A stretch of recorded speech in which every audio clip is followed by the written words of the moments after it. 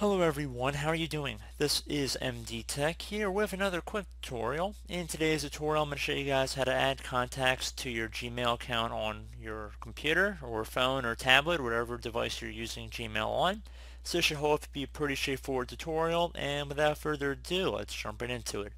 So we're going to begin by opening up an email from the person that you wanted to add the contact for.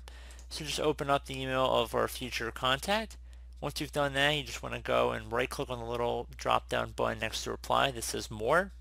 Left click on the more button or once it comes up with more. You want to go into this menu here and you want to go and left click on the selection that says add whoever your name is from Google to contact list.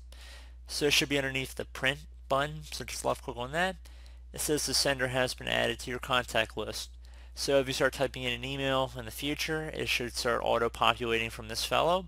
And that should hopefully be about it. And I do hope this brief tutorial was able to help you guys out. And as always, thank you for watching, and I do look forward to catching you all in the next tutorial. Goodbye.